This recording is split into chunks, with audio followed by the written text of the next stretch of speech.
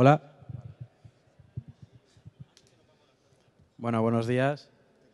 Eh, si queréis enviar preguntas conforme vamos haciendo la charla, las podéis enviar a CPCRE, ¿vale? Y nos las irán pasando y las iremos respondiendo.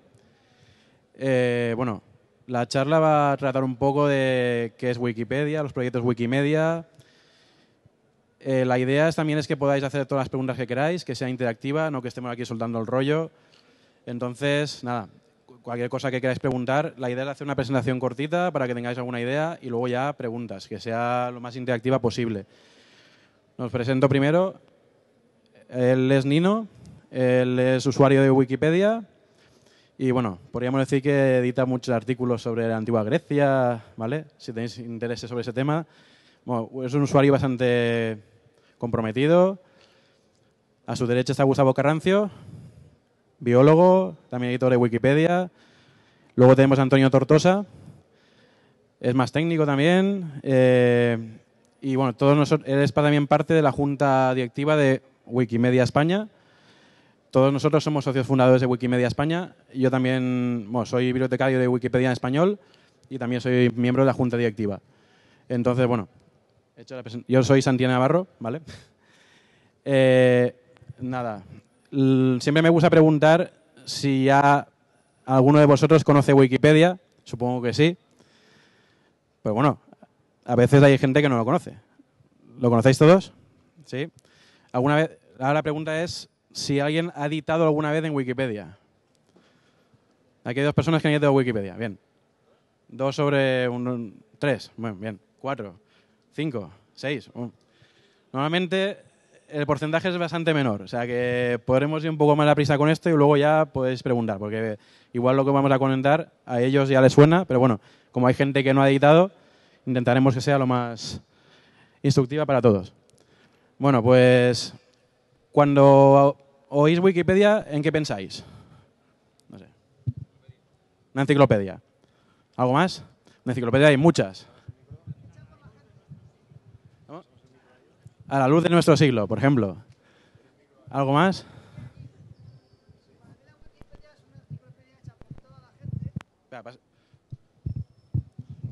Hola, buenos días. Hacia arriba del todo. Sí, sí, está hacia arriba del todo. Hola. Sí, lo que te comentaba es que para mí la Wikipedia es una idea estupenda, pero que todavía tiene ciertas lagunas importantes, porque el hecho de que todo el mundo pueda escribir lo que opine, que me parece perfecto y genial, da lugar a que mucha gente que no tiene un conocimiento real de algunas cosas ponga su opinión o ponga su dato y luego cualquier persona que lo consulte encuentre errores importantes. Insisto que la idea me parece fantástica y me parece perfecto apoyar la idea de Wikipedia. ¿eh? Pero mm, hay que cogerla con un poquitín de reserva todavía en cuanto a la información. Muy bien. Tenemos la primera crítica, constructiva, por supuesto. Las críticas pueden ser constructivas. Luego entraremos a analizar ese punto, ¿vale? Que es la fiabilidad que tiene la Wikipedia, ¿vale? Es la pregunta que todo el mundo se hace. ¿Alguna otra cosa que os viene en mente? ¿Vale? ¿No? Vale, pues pasamos nosotros, os vamos a decir un poco qué es Wikipedia, ¿no? Lo que estamos diciendo. Bueno, primero que todo, es una enciclopedia, como han dicho, ¿vale? Pero aquí vemos que Wikipedia es un proyecto de la Fundación Wikimedia para construir una enciclopedia libre y políglota, ¿vale? Estas dos palabras, sobre todo la primera, libre, ¿vale? Libre, mucha gente piensa que Wikipedia es una enciclopedia gratuita, que es verdad, pero libre no significa que sea gratuita. Podría ser de pago, que no lo es, y ser libre. Libre se refiere a que su contenido es libre. Que todo el mundo puede coger el contenido que está en la Wikipedia y en los proyectos Wikimedia y usarlo. Usarlo como quiera, siempre que, respete dos cláusulas de su licencia, que es que la comparta de la misma forma y que diga de dónde saca la información. Podéis vender la información de la Wikipedia. Si queréis imprimir la Wikipedia y venderla, podéis hacerlo. Otra cosa es que os la compren, pero podéis hacerlo. ¿vale?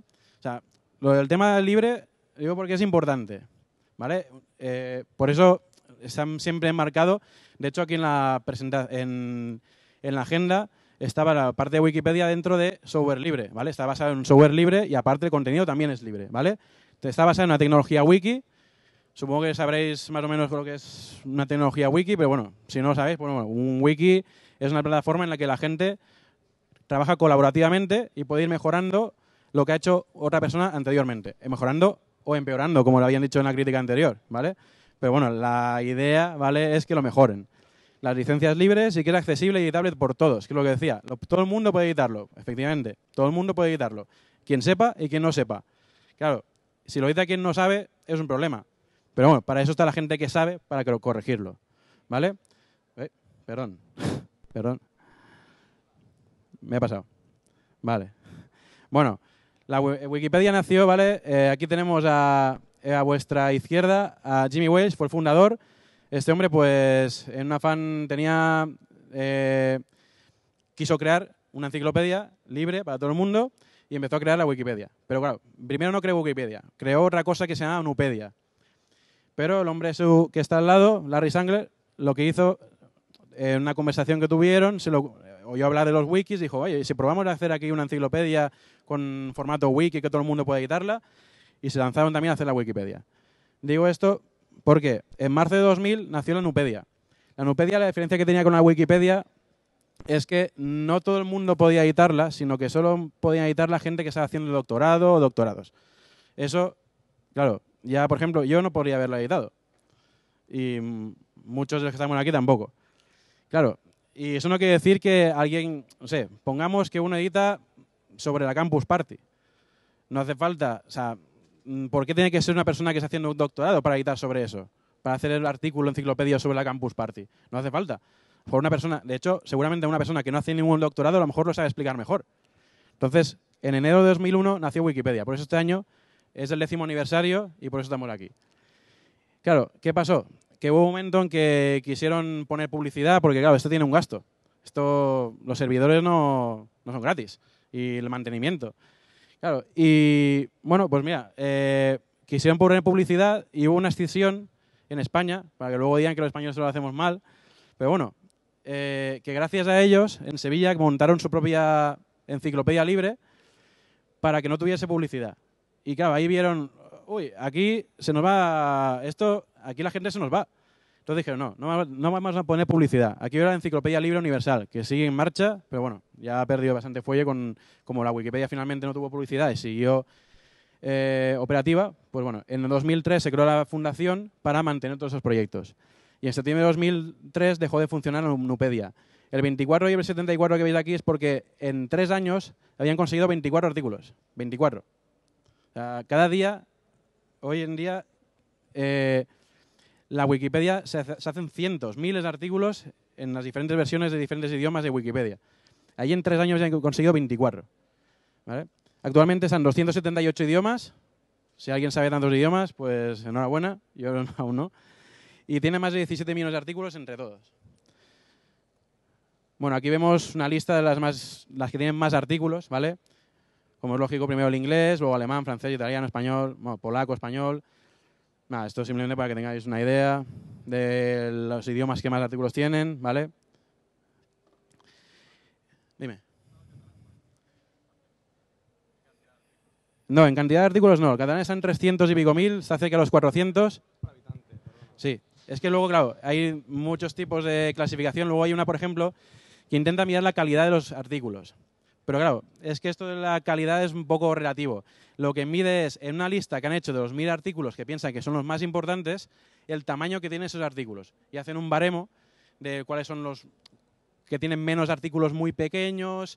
Y ahí, por ejemplo, el catalán es la que va primero todas. De las 278 idiomas, el que tiene mejor calidad en ese punto es la de catalán. ¿Vale? que con lo cual, bueno, catalán valenciano, ¿vale? Es la misma, ¿vale? Entonces, bueno, también hay que decir que la de catalán es de las, está en la 16, 17.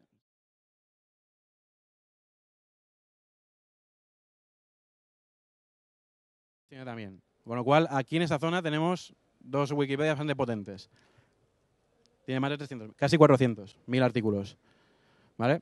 Esto es el impacto que tiene en número de visitas al día, ¿vale? La línea azul es Wikipedia. Y luego veis ahí New York Times, la CNN, BBC, ¿vale? Encarta cuando existía, Enciclopedia Británica. Bueno, menos New York Times y la CNN, el resto prácticamente no se puede comparar. O sea, el impacto que tiene... O sea, una cosa es que uno no se pueda fiar, pero al final la gente lo consulta. Por eso, si avanzamos una diapositiva más, aquí vemos el uso que hacen los estudiantes universitarios de Estados Unidos, hicieron un estudio en la universidad, el uso que hacían de la Wikipedia. Una cosa es que la gente no se fíe, una cosa es que no le guste, pero lo que es cierto es que la usa. O sea, les guste o no. Y los estudiantes también. Hay muchos profesores, docentes, que no se fían de Wikipedia. Yo soy editor y tampoco me fío. O sea, no me fío de nada. O sea, a priori. A priori no tenemos que fiarnos de nada. La Wikipedia tampoco.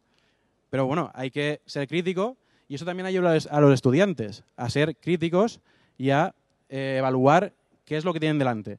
Pero bueno, lo cierto es que más del 50% de los estudiantes universitarios de Estados Unidos usan Wikipedia para sus trabajos. ¿vale? Y luego, si ya lo usan ocasionalmente, bueno, se nos va más del 75%. O sea, que lo usan, se usa. Pero claro, aquí habían dicho, todo el mundo puede editarlo, todo el mundo puede añadir lo que quiera. Bueno, sí y no, porque claro, tiene unas normas. Esto no es una cosa caótica y una anarquía, todo el mundo se pone ahí a editar algo lo que me da la gana. No, tiene unas normas que, bueno, tiene, lo principal es que eso lo comparten todas las ediciones en todos los idiomas y tiene cinco pilares. El primero es que es una enciclopedia. Y esto parece de perogullo, pero no lo es. Porque mucha gente entra allí pensando que es un blog. Voy a escribir mi opinión. O es un foro y voy a discutir. No. O es, no sé, un eh, Wikimedia Commons, por ejemplo, es donde yo voy a subir mis fotos de mi viaje. Cuando estoy con mis amigachos, no. O sea, es una enciclopedia. Y los proyectos hermanos son lo que son, ahora lo veremos. ¿Vale? No es otra cosa. No es un foro de opinión, no es un blog. Tiene que tener un punto de vista neutral. Esto es complicado. Punto de vista neutral, ahora quien sepa dónde está, que me lo diga. Pero bueno, es intentarlo. Porque punto de vista neutral no tiene por qué estar en medio de dos opiniones. O sea, y a veces hay más de dos opiniones. O sea, al final nos vamos a las fuentes siempre. Luego, es de contenido libre, esto ya lo hemos comentado antes. Todo el mundo cuando graba, si alguna vez editáis, hay un aviso allí que dice, atención, que lo que vas a grabar va a ser libre. O sea, tú tienes tus derechos sobre lo que das allí. O sea, no pierdes tus derechos, porque de hecho si lo usan, en teoría tendrían que citarte a ti como autor, pero tú estás cediendo esos derechos, eso, esa información que estás escribiendo a una licencia que es Creative Commons 3.0 compartir igual y eh, atribución, ¿vale? Esto ya... Luego, sigue unas normas de etiqueta, porque claro, tiene una comunidad detrás de usuarios. Aquí, por ejemplo, tenéis... No, aquí somos unos cuantos, ¿vale? Porque en el momento que habéis editado ya sois parte de la comunidad de usuarios que ha editado Wikipedia. Claro, una cosa es que tengamos puntos de vista distintos en algunas partes y otra cosa es que nos estemos ahí insultando. No, o sea, como en todos los sitios hay que guardar la compostura, las formas y hacer que aquello avance. Y después hay un, que no tiene unas normas firmes. ¿Por qué? Porque hay ciertas normas en cada edición sobre, por ejemplo, el manual de estilo, si las negritas van aquí, si el enlace va allá, si la imagen tiene que ser más, más, más grande o más pequeña. Todas esas normas se pueden cambiar, porque a lo mejor hoy en día se decide que la primera palabra del artículo está en negrita y a lo mejor el año que viene, pues no. todo el mundo, si no están de acuerdo en algo, puede entrar e intentar cambiarlo. Y ya simplemente, eh, ya es de las últimas, eh, claro, la gente dice, oye, ¿y ahí cómo os organizáis? ¿no? ¿Cómo, ¿Qué hace? ¿Que todo el mundo lo que quiere? ¿Todo el mundo, quién es el que revisa los artículos? ¿Los bibliotecarios sois los que revisáis todos los artículos? No. O sea, son los usuarios registrados. Aquí, por ejemplo, eh, teníamos aquí este chico que se llama Diego Jaimes, que es un usuario de Wikipedia, en español. Y es el que más... Sí, falta un cero. Tiene más de 150.000 ediciones. ¿Vale?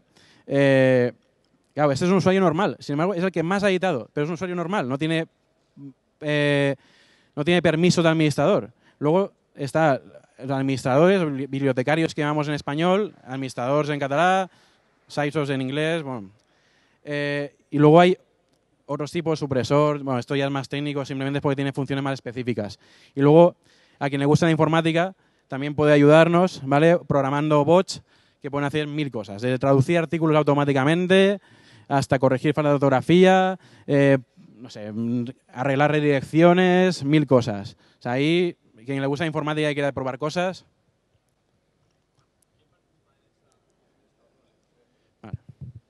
Bueno, me ha preguntado que quién participa en estos roles.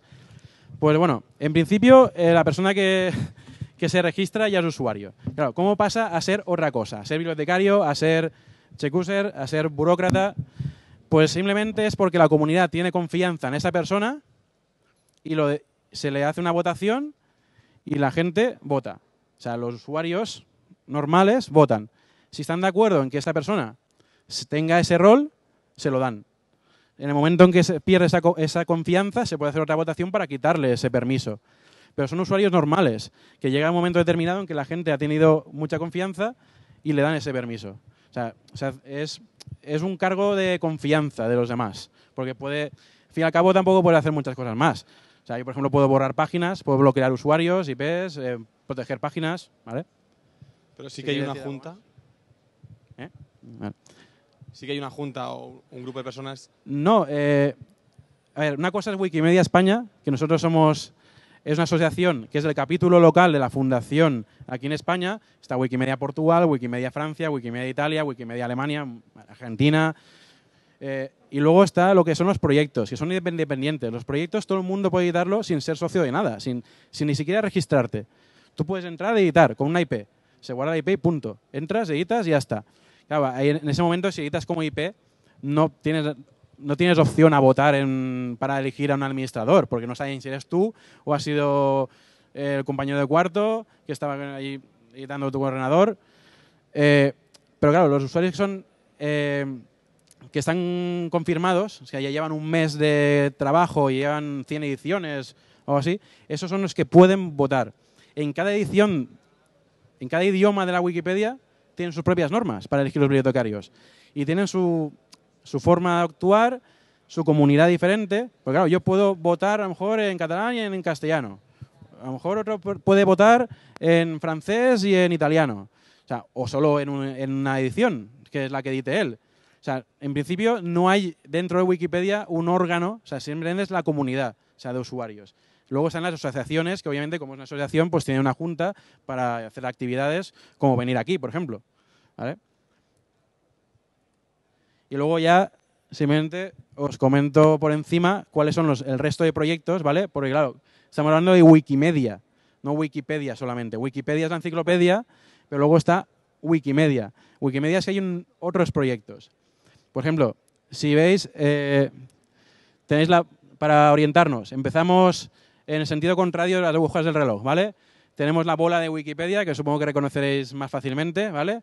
A las 11, más o menos. Sí, a las 11 tenéis la bola, ¿no? Esa es Wikipedia. Yo creo que esa, más o menos, todo el mundo la reconoce. Pero luego seguimos en el sentido contrario a las agujas del reloj y tenemos un simbolito que se representa Wikimedia Commons. Eso es un repositorio de archivos, ¿vale? Ya sean de audio, de vídeo, de, o de imagen, o sea, fotografías. Tiene más, hace unos meses llegó a los 10 millones de archivos. Sea, se dice pronto. Ahí hay, y todas esas, todas esas imágenes también son libres. Podéis usarlas. Imágenes o vídeos o audios. Y hay imágenes antiguas, hay imágenes modernas. Claro, el tema de las imágenes es complicado. Yo no os recomiendo que el primer día os pongáis a subir imágenes. Primero os tenéis que familiarizar con las leyes. Porque el tema de los derechos de autor sobre imágenes que no son vuestras, las vuestras podéis subirlas, no hay ningún problema. Pero las que no son vuestras, claro, eso ya depende de la legalidad de cada sitio. Que van a añadir algo. Sí, bueno, eh, en cuanto a las imágenes, eh, es muy importante que el- es muy importante que el tema principal, eh, si hacéis una foto, por ejemplo, y que no aparezcan marcas ni logos en primer plano, por ejemplo, porque eso ya sí que tiene derecho de autor. O sea, por ejemplo, no podéis subir una fotografía, por ejemplo, de, de un cómic, sino una persona leyendo un cómic. Eso sí, pero que no sea el motivo principal un cómic. Simplemente eso. Sí, claro, como nos hemos dicho, las licencias, eh, por ejemplo, no está la cláusula de no comercial. Todo el mundo puede usar esa imagen para fines comerciales, lo que he dicho. Podéis imprimir Wikipedia y venderla. Claro, por ejemplo, una anécdota que... Bueno, anécdota no, es algo real. La Torre Eiffel. La Torre Eiffel, eh, Eiffel hace ya muchos años que murió, con lo cual sus derechos de autor ya expiraron sobre la torre. Con lo cual vosotros podéis hacer una foto de la Torre Eiffel y usarla. Podéis publicar un libro, la ponéis y ya está. No tenéis que pagarle a nadie por usar esa fotografía. Pero el problema viene que en Francia, por ejemplo, por eso decía lo de las leyes, en Francia no existe lo que aquí en España hay, que es el derecho de panorama. El derecho de panorama es que hay algo, cuando hay algo que está en la calle, en un sitio público, o ya tenéis el derecho de panorama. Podéis hacerle una fotografía y la fotografía no se considera una obra derivada. aunque esa obra aún tenga los derechos de autor vigentes. La Torre Eiffel de noche, ¿la habéis visto? Se ve. ¿Por qué? Porque tiene luz. Esa luz no se puso hace 100 años. Esa luz tiene sus derechos de autor.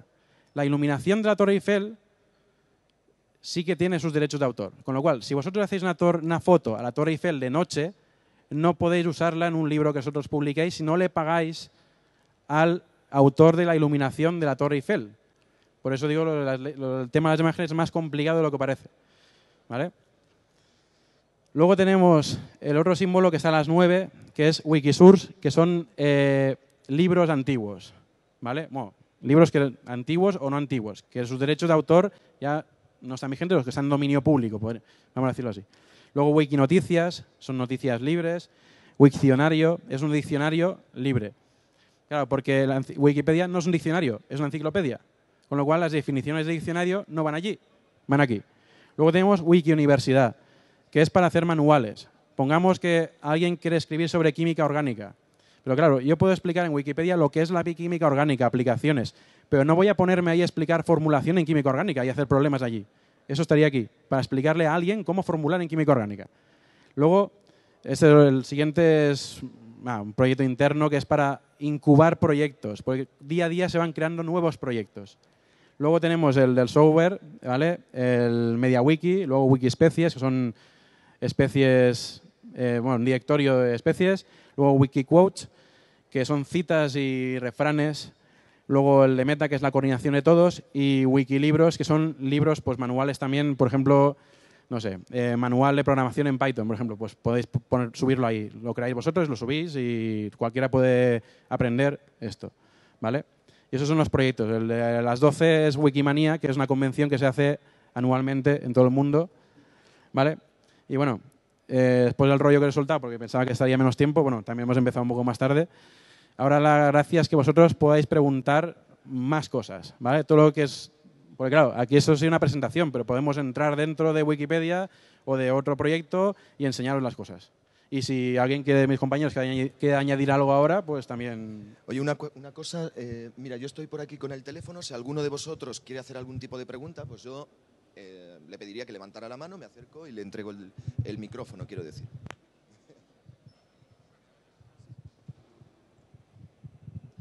Bueno, yo quería preguntar un poco los diferentes proyectos que hay. Mm, ¿Cómo, por yo tenía un poco la duda de pues, Wiki Universidad y Wikilibros y claro, el, manual de algo a lo mejor lo podías poner en Wiki Universidad o en Wikilibros. ¿Hasta dónde sería más adecuado ponerlo? Eh, mira, además es que he estado bastante preocupado sobre el tema. Eh, me parece que tenemos un... Sí, ¿se me oye bien ahora? Vale, pues eh, estabas hablando de la diferencia entre Wikilibros y Wikiversidad, ¿no? Bueno, Wikilibros simplemente es un repositorio con contenidos que no cabrían específicamente dentro de lo que es una enciclopedia. Wikipedia es una enciclopedia eh, y digamos que todos los contenidos tienen que ser enciclopédicos, con un tono enciclopédico, con una cierta relevancia, con unas fuentes fiables que avalen. Hace poco esta persona que estuvo por aquí dijo que todo el mundo podía poner su opinión en Wikipedia. Esto no es exactamente correcto. Si tú haces una cosa así como poner tu opinión, digamos que estás mm, eh, pasándote por alto una de las reglas más importantes, y es que tú en Wikipedia no puedes hacer una fuente eh, primaria, tú no puedes ser, digamos, el responsable del contenido que estás poniendo último del contenido, sino que tienes que buscar fuentes fiables, ¿no? Sería un poquitito complicado explicarte ahora qué se considera fuente fiable, porque además en cada campo las fuentes fiables son eh, distintas. Pero todo lo que hay en Wikipedia, en principio, debe de estar avalado por una cita ¿eh? en la que se dice que eso que se está diciendo en Wikipedia está eh, avalado por una fuente fiable. ¿Vale? Eso es contenido enciclopédico. Cuando haces wikilibros, esas restricciones ya no existen. Tú puedes hacer ensayos, puedes hacer una novela, eh, puedes hacer una guía de viajes, prácticamente cualquier tipo de cosa que se pueda considerar un libro. Ahora bien, también tienes que seguir la filosofía wiki, es decir, que todo lo que haces ahí puede ser modificado por otra persona y tenéis que consensuar el contenido. Eso en cuanto a Wikilibros. En cuanto a Wikiversidad, bueno, pues en cuanto a Wikiversidad, lo que se trata es de hacer eh, contenido, textos, de tipo didáctico. de hecho, en Wikiversidad verás que hay lo que se llaman departamentos. ¿De acuerdo? Tenemos el departamento de química, el departamento de biología. También tenemos una cosa muy interesante que es el departamento de educación secundaria, ¿no? Es una cosa que, mm, desde mi punto de vista, como profesor de secundaria, eh, habría que impulsar mucho más. Sería un lugar casi, casi ideal para que los profesores de secundaria nos pusiéramos de acuerdo eh, y mm, hiciéramos una red cooperativa para eh, consultarnos sobre contenidos de educación secundaria. Espero haberte respondido.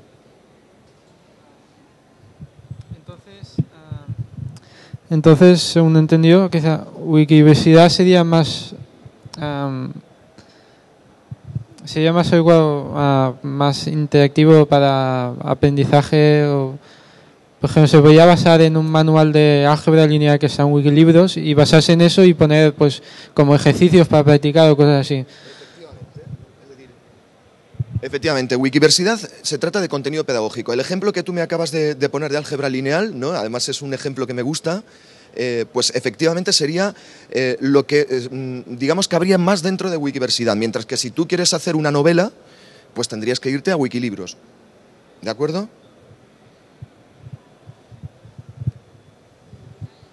Hola, se habla muy, eh, últimamente muy el día del problema de los eh, artículos con información falsa em, y, generalmente de que muchas veces se dice que la Wikipedia no es segura si quieres hacer un proyecto o algo. Eh, ¿No se podría hacer un sistema similar a un sistema de firmas en la cual gente del portal mismo al que pertenece el artículo general pudiera afirmar que se ha comprobado que las fuentes son fiables? Porque claro, eh, sí que se pueden utilizar las fuentes eh, eh, referenciadas y demás, pero claro, si la propia fuente, por ejemplo, tiene un, fallo, es muy difícil encontrar, es muy difícil buscarlo sobre la búsqueda. Entonces, mi pregunta es, ¿se podría hacer un sistema similar a un sistema, por ejemplo, de firmas, en el cual los usuarios del portal o, incluso también usuarios normales, aunque tendría que ser consensuado con, la, con una gran cantidad de, usuarios, ¿podían certificar que la información es correcta? Bueno, con esto yo en principio, si me queréis puntualizar algo, se podría y se ha hecho. O sea, en la Wikipedia en alemán existe lo que se llaman ediciones revisadas, con lo cual, hasta que una persona que se le ha dado una confianza tiene un eh, permiso como lo que estábamos hablando antes, la comunidad le ha dado esa confianza de que va a revisarlo bien, no dice, esta versión actual del artículo es buena, el cambio que se ha hecho es correcto, la información que se ha añadido es veraz. Hasta ese momento, la, la edición está ahí, pero está escondida detrás en el historial. Lo que se está viendo cuando entra un usuario, lee la última versión verificada por un usuario de este tipo. Entonces, esto lleva un trabajo detrás muy grande. Claro, en alemán lo han hecho, en Wikinoticias en castellano también lo han hecho. Esto yo creo que vamos hacia ese camino, o sea, de que al final, pues claro, la verificabilidad es muy importante. Incluso habiendo fuentes diciendo, está sacado de aquí, a lo mejor es mentira. O sea, pero es que también hay errores, no solo en la Wikipedia, no voy a decir nombres de otras enciclopedias para la publicidad, pero bueno, pero también tienen errores. O sea, o sea, podéis encontrar errores en cualquier enciclopedia, en muchas obras publicadas. No todo lo que está escrito en papel y habéis pagado por ello es cierto. O sea, mm, eso es una... Hay gente que piensa, no, lo he comprado y ya está, lo que pone aquí es, es verdad. Pues no. Puede, o sea, seguramente la mayor parte de la información será cierta y alguna será parcialmente cierta, pero puede tener algún error, que no tiene por qué ser un error queriendo, o sea, vamos a presumir buena fe y vamos a pensar que se han equivocado a lo mejor o han omitido algo, pues una omisión. Claro, esto en Wikipedia está lleno también, claro. Pero la gracia, nosotros tenemos, siempre se dice, sé valiente. O sea, cuando uno ve un error, yo, personalmente, ahora me pongo desde aquí, desde yo, os animo a que entréis si veis un error y lo cambiéis y lo arregléis. Desde si es un acento, un acento, una coma, una coma. Porque ese, todos esos artículos que se han hecho, esos 17 millones de artículos, esos 800.000 en castellano, casi 400.000 en catalán, todos esos artículos no se han hecho de, la nada. Eso ha sido gente, porque aquí no cobra nadie. O sea, aquí no cobra nadie. Aquí, pues yo he venido aquí, el dinero de la gasolina me lo pago yo, el dinero de parking me lo pago yo. O sea, no nos cobramos nada, lo hacemos por amor al arte, es un voluntariado. Estos somos, todos somos voluntarios y bueno, podríamos dedicar nuestro tiempo a otra cosa, pero bueno, dedicamos nuestro tiempo también en parte a intentar que el conocimiento sea libre y accesible a todo el mundo. Por eso os animo a que pongáis vuestro granito de arena. Hay un dicho aquí que dice, tota pedra fa pared, ¿no? Aunque sea poquito, pero bueno, eso ayudará a que esos errores no existan. El día de mañana, si ponemos el sistema de ediciones verificadas, habrá falta más gente para que se puedan verificar todas esas ediciones. Cada día la cantidad de ediciones que hay es brutal. O sea, verificar todas las ediciones lleva un trabajo enorme detrás. Y encima, en el momento en que se pusieran, habría que verificar las de ese momento y todas las anteriores. Mirar, decir, hasta aquí está bien. Habría que revisar lo que ya había. Igual, el día que se ponga será un trabajo muy grande. Así que, bueno, esperamos que nos ayudéis. Bueno, si habéis editado, pues sois parte del equipo también y, bueno. ¿Más preguntas? Eh, disculpa, le voy a puntualizar una cosa creo que has dado un poquitito en la clave y estoy bastante de acuerdo contigo. Es decir, eh, si toda información debe de ser referenciada, en última instancia, ¿quién controla la calidad de la referencia que eh, se ha alegado para poner ese, eh, esa edición en particular? Claro, por ejemplo, en artículos de ciencias la cuestión es peliaguda.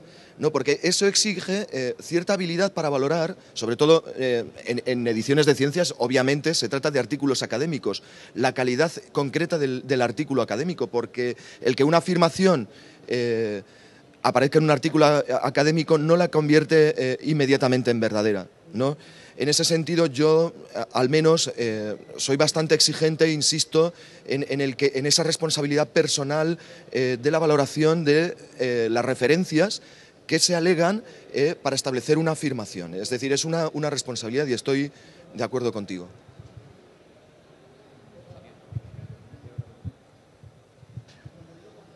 Sí, tenía otra cosa. Eh, resulta que hay muchos casos en el que, y más específicamente, por ejemplo, en la, Wikipedia española, hay muchos artículos que básicamente tienen a lo mejor una sola línea, dos líneas, y luego hay otra Wikipedia en la que tiene a lo mejor Mm, digamos, 100 kilobytes en contenido, en, texto, por ejemplo.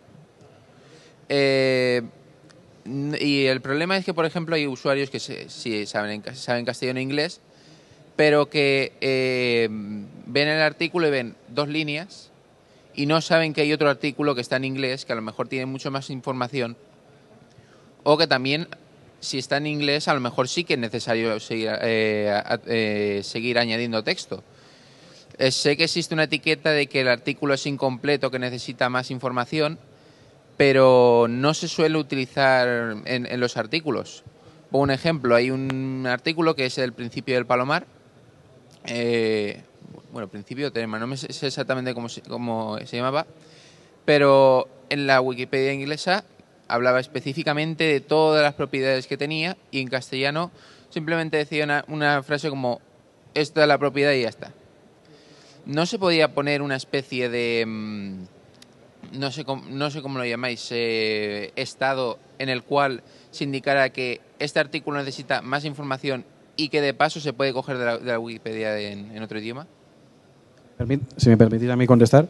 A ver, eh, antes hubo una plantilla que era, este artículo es un esbozo y se puede mejorar.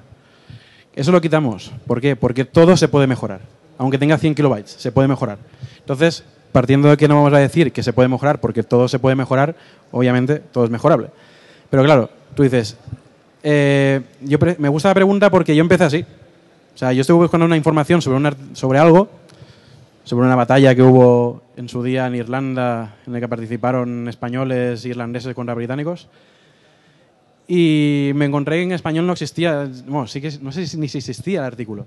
En inglés sí. Claro, yo sabía inglés, pero dije, habrá mucha gente en el mundo que no sabrá inglés y sí que sabe castellano.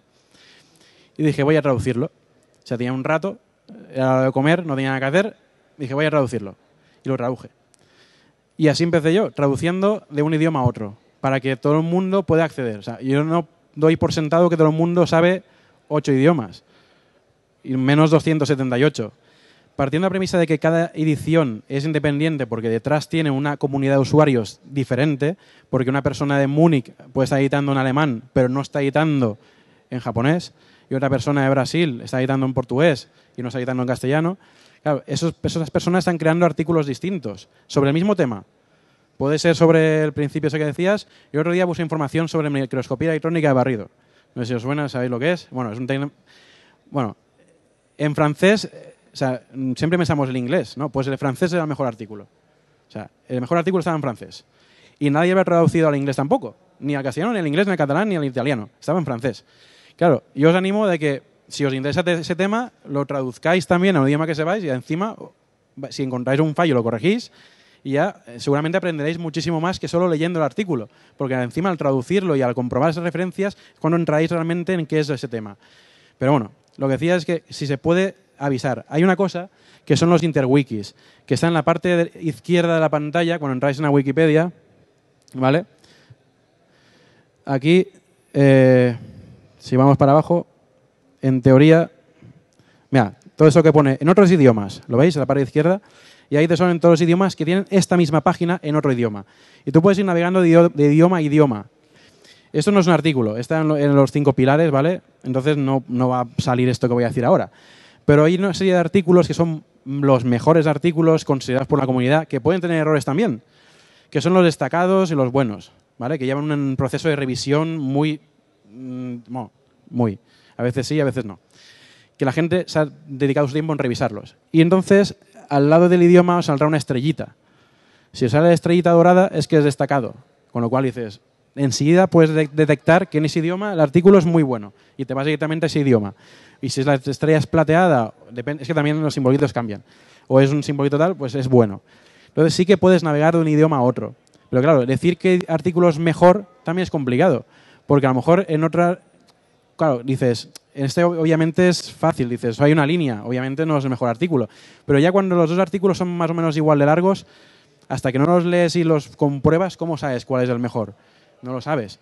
Y a lo mejor hay cosas de uno que están bien, eh, cosas de otro que están bien y habría que hacer unir los dos contenidos. Y eso todo es trabajo.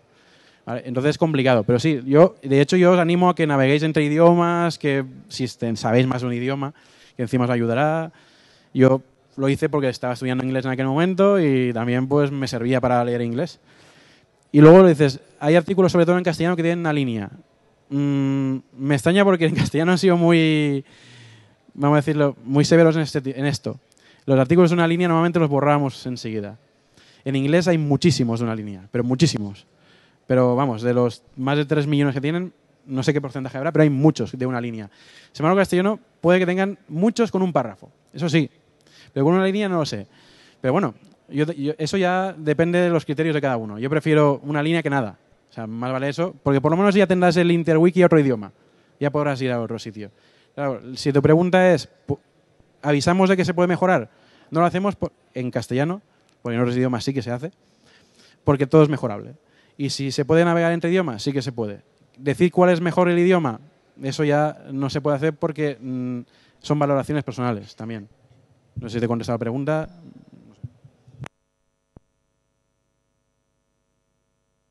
No os importa, me voy a sentar.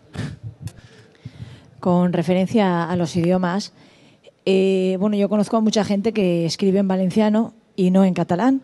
Entonces, y además ellos lo dicen así. Entonces, a esta gente se le está cerrando la puerta si no se le pone un apartado en valenciano en cuanto a todo el folclore valenciano que hay, que es muy rico, etcétera no podría hacerse eh, de alguna manera no cerrarle esas puertas, ya que estas personas no van a escribir en catalán? Voy a contestar yo, que soy valenciano parlante, ¿vale? Eh, la voy a contestar en castellano porque no sé la gente si va a entender si lo hablo en valenciano o no, ¿vale? Yo edito en los dos, principalmente en castellano, pero también he editado en catalán. Catalán-valenciano, da igual. El problema aquí es que ya cuando entramos y se llama catalán, se llama valenciano, eh, sobrepasa el, ambiente lingüístico y educativo y llega un poco al ambiente político. No voy a hacer mi valoración sobre el, si es la misma... a ver, para mi punto de vista sí que es la misma lengua. Son dos dialectos diferentes, el catalán de Cataluña, el catalán de Baleares y el valenciano de Valencia. Y lo digo así porque lo siento, porque ellos, tengo amigos catalanes y hablo con ellos y me entiendo, pero si tengo un amigo francés, hablo en valenciano no me entiende. Pero bueno, da igual. Eh, sin querer meterme en polémicas, porque la pregunta, claro, es un poco dada a esto. Eh, hay una versión en valenciano que no está reconocida por la Fundación, que está en valenciano, que usa las normas del PUCH, creo que se llaman. Eh, mm, se ha intentado crear una Wikipedia en valenciano. Se ha rechazado porque se considera internacionalmente que es la misma lengua. También se ha intentado crear una Wikipedia en, en portugués de Brasil, por ejemplo, para poner un ejemplo similar. El portugués de Brasil no es igual que el portugués de Portugal, pero se rechazó crear una Wikipedia del portugués de, Brasil. También se ha intentado crear, por ejemplo, una Wikipedia del árabe de, Egipto, del árabe de Marruecos. Claro, el día de mañana se podría crear una Wikipedia del castellano de México, del castellano del Bierzo, del castellano de las Alpujarras. No lo sé. Esto, claro, mm, yo soy de la opinión de que en la Wikipedia en catalán hay una plantilla que se usa detrás en las discusiones de los artículos, para que sepáis lo que es una discusión. Detrás del artículo, ¿vale? Y aquí también, aunque no sea artículo. Eh, hay una... Sí, consigo, vale. ¿Veis? Se pone discusión. Pues en la Wikipedia en catalán hay una plantilla que se usa que se especifica en qué variante idiomática del catalán se ha escrito. Esto no se usa siempre, pero sería lo ideal. Porque claro, no es lo mismo que lo escriba una persona de Ibiza que una persona de, eh, de aquí del Horta o una persona de Sports o una persona del Vallés. Claro. Eh, ¿Por qué la gente que dice que... O sea, no se está cerrando la puerta a nadie, todo el mundo puede editar en catalán. O sea, usando su propia variante, que es el valenciano. Porque nadie dice que es que encima pone, es la enciclopedia en catalán valenciano, en los dos. No quiere decir, claro, el problema es que hay más usuarios, no es un problema. Bueno, sí es un problema porque tendríamos los valencianos que editar más. Hay más usuarios, muchísimos más, catalanes que valencianos. Con lo cual, al final, el peso que tienen ellos es mucho mayor. Con lo cual, al final, la variante dialectal que tiene mayor peso es la de allí y encima nuevamente es la variante más de Barcelona y no es la variante, por ejemplo, de Lleida, que se parece muchísimo más a la, de aquí. Luego, la de aquí, por ejemplo, yo soy de Villarreal, provincia de Castellón. Yo no hablo igual que los de aquí del alrededor. O sea, hay un tipo verbal que digo yo va a llenar y ahora digo yo a ni. Yo a ni, yo cuando fui a la universidad y escuchaba a la gente de aquí que decía yo a ni, no sabía lo que era. Claro, son variantes dialectales. Entonces, haciéndolo, ya me estoy enrollando demasiado. eh, yo creo que no hace falta separar esas dos y pueden escribir perfectamente sobre el folclore valenciano, sobre gastronomía valenciana, sobre historia valenciana, sobre municipios valencianos en catalán, en castellano, en chino, en ruso, en danés, en el idioma que quieran, o sea, porque es global. O sea, yo escribo artículos no sobre cosas de aquí. A veces escribo artículos sobre ciudades que no he visitado en mi vida, pero los traduzco del inglés. Entonces, claro, el usuario de aquí de Valencia puede escribirlos en su valenciano de Valencia, siempre que tenga las normas de ortografía correctas, que pueden ser las que dicta la Academia Valenciana de la Lengua perfectamente. No hace falta que se vaya las del Instituto de Estudios Catalans, pueden ser las de la Academia Valenciana de la Lengua. Y entonces el artículo sea válido. A mí me han corregido en la Wikipedia en catalán el acento, por ejemplo, en francés, francés o inglés, de cerrado a abierto. Y automáticamente vino otro y lo cambió. Y le dijo, no, o sea, que tú digas francés en acento, en acento abierto no quiere decir que sea lo correcto. En valenciano se escribe de otra manera. Y él ha escrito en valenciano y tiene su derecho a escribir en valenciano. Entonces, no sé si te correspondo así, diciendo que uno puede escribir en valenciano perfectamente en la Wikipedia en catalán. O sea, no sé.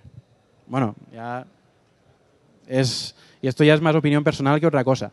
Y te lo digo como valenciano parlante. Rebatir lo que queráis, ¿eh? tampoco no me voy a comer a nadie.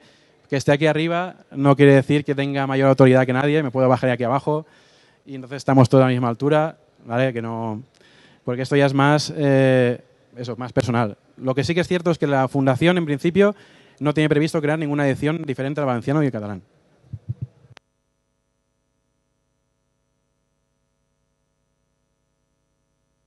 ¿Una otra preguntilla? ¿No? ¿Sí? Ah, vale, perdona.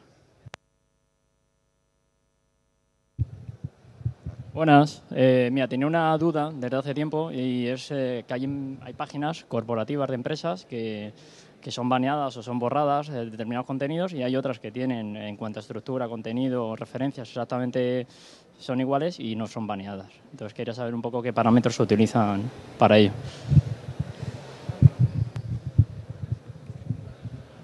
¿Yo?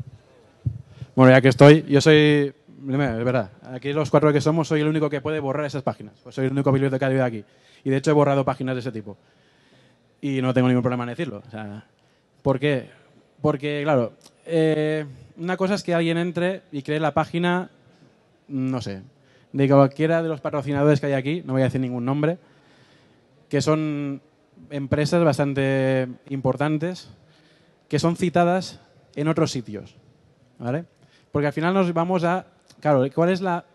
Es que es el tema también de la. Eh, uy, espera que no me sale la palabra. La relevancia. El tema de la relevancia. ¿Cómo de relevante es algo? Y esto pasa en las empresas y pasa en muchísimas cosas. Porque hay gente que crea artículos sobre el equipo de fútbol de su pueblo, que está en regional preferente. Pues me parece muy bien, pero eso lo borro, porque no es relevante. O sea, para mí no es relevante, para él sí, claro. ¿Cómo sabemos si es relevante? Eso que estás escribiendo está en otros sitios, lo citan, está en libros, está en, fuentes importantes. Entonces, claro, si no, si no está, eh, no, consideramos que no es relevante. En algún sitio hay que cortar también. Hay muchas empresas que lo usan, la Wikipedia, hemos visto el número de visitas que tiene. Antes hemos pasado, tiene muchísimas más visitas que muchísimos de los medios más importantes del mundo. Claro, es una plataforma para lanzar estrellato mi empresa, para que todo el mundo me conozca. ¿vale? Entra en la categoría de eh, empresas que hacen sillas y ahí está mi empresa y entonces me buscarán. Y pongo mi teléfono y digo, lo hago más baratas que el vecino. Eso no es una información enciclopédica. ¿Por qué? Porque es lo que hemos dicho, es una enciclopedia, tiene que tener contenido enciclopédico, no tiene que nosotros eso le llamamos artículos de autopromoción o de vanidad. ¿Por qué? Porque son eso, autopromoción. Normalmente incluso la gente que los crea los crea con el se ha registrado con el nombre de la misma empresa, con lo cual ya canta muchísimo. Autores de libros que hayan escrito un libro, grupos de música, eh, futbolistas juveniles, chavales que empiezan a jugar a fútbol y se ponen ahí. Hay muchísimos, muchísimos artículos de este tipo, desde empresas hasta cualquier cosa que te venga por la cabeza, existe esa autopromoción. Claro, nosotros los bibliotecarios tenemos la responsabilidad de decir, ¿lo borro no lo borro? ¿Yo en qué me baso? Lo que te he dicho, las fuentes. Eh, veo que las fuentes y cómo está escrito el artículo. Porque a lo mejor el artículo eh, tiene una estructura de artículo enciclopédico y tiene información relevante. A lo mejor es una empresa que dentro de su eh, modestia no es tan importante como otras, pero el artículo tiene, no tiene visos de ser una autopromoción, no está ahí para darse a conocer, sino que explica lo que es y tiene unos méritos contraídos. A lo mejor le han dado un premio por la innovación en algo, con lo cual tiene por qué estar ahí. Pero si simplemente ha entrado alguien para decir, esta es mi empresa, esta es la dirección, esta es mi web y cómprame, eso se borra automáticamente. No sé si te he respondido la pregunta. ¿Sí? ¿Más preguntas? ¿Tenemos cuánto tiempo nos queda? ¿Eh? ¿Cinco minutos? Vale. Yo tenía una pregunta sobre las traducciones de artículos de un idioma a otro. cuando te haces un artículo, las referencias, las que haces con ellas, las copias en otro artículo y si lo haces, tienes referencias a, en inglés en un artículo que a lo mejor la traducción castellano. Entonces, ¿qué pasa con eso un poco? Absolutamente nada. Es decir, eh, cuando nosotros incluimos referencias, obviamente se utiliza, se me oye, ya sabes que eh, cuando editas un artículo le das a la pestañita, te atreves ya, dice, uy Dios mío, uy Dios mío, ¿no? Y ya te lanzas, te echas a la piscina. Y le das a la pestañita de edición, ¿no? Entonces te aparece el interfaz de edición. Es la forma en la que el usuario puede, puede añadir nueva información. Tú pones tu frasecita y quieres poner dónde la has encontrado. Obviamente, eso no aparece a continuación del texto, sino que normalmente te aparece un numerito, que habéis visto los artículos de Wikipedia seguramente, que está lleno de numeritos de color azul.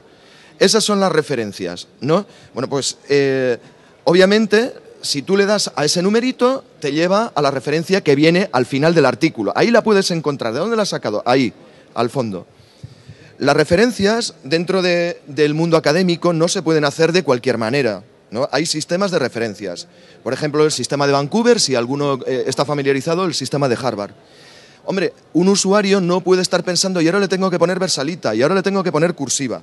Para facilitar esa tarea, existen unos comandos especiales que vosotros podéis encontrar en una página que es referencias en Wikipedia, ¿no? Dentro de la Wikipedia, en, lo que viene, en la que viene una serie de texto que se llama las plantillas.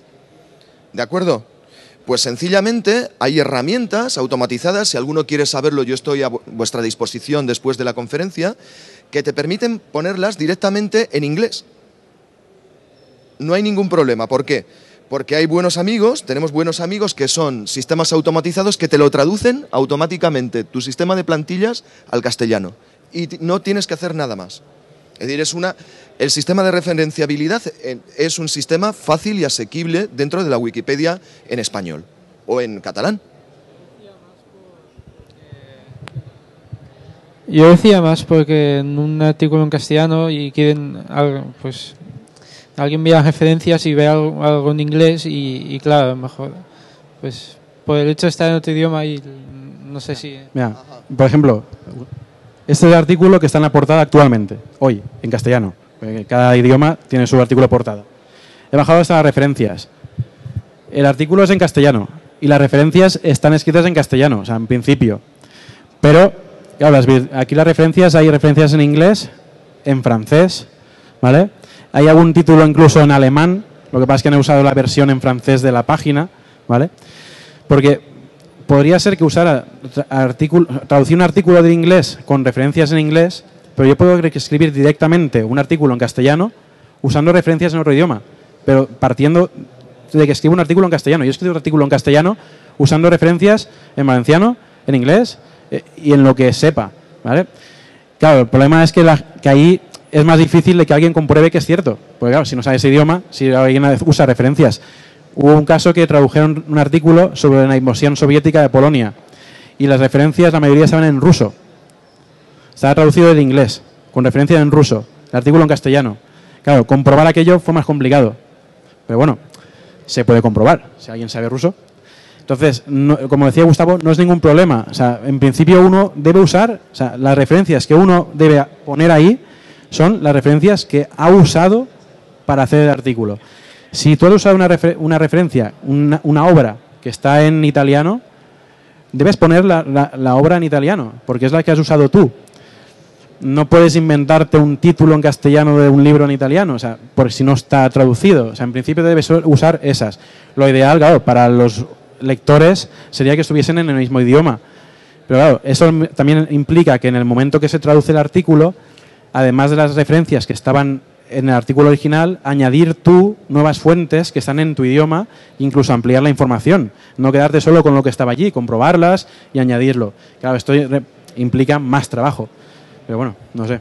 Mira, eh, ya andamos con muy poco tiempo, pero simplemente para comentarte eh, que, por ejemplo, en ciencias, en la fiabilidad de las fuentes, por ejemplo, casi toda la prensa y casi toda la literatura científica, por no decir casi el 99%, está en inglés, porque de ese modo se da mucha más difusión y, eh, llega más gente. eh, porque existe una sola comunidad científica, no hay la comunidad científica china eh, y la comunidad científica española. La comunidad científica es universal y por tanto la mayor parte de las publicaciones científicas se realiza en inglés. Obviamente las publicaciones científicas sufren un proceso muy duro que se llama revisión por pares. Por tanto, eso ya les da una cierta fiabilidad, porque ha sido revisado por expertos en el campo en el que se quiere publicar. Desde luego, si hay una publicación, mm, por ejemplo, de eh, divulgación científica, esa publicación tiene bastante menos fiabilidad que una publicación que ha sido revisada por pares. Por tanto, si queremos poner una referencia que avale una afirmación en Wikipedia, tenemos que poner la eh, referencia en inglés, en la mayor parte de los casos, en, eh, artículos de tipo científico. Nos vemos con ese problema.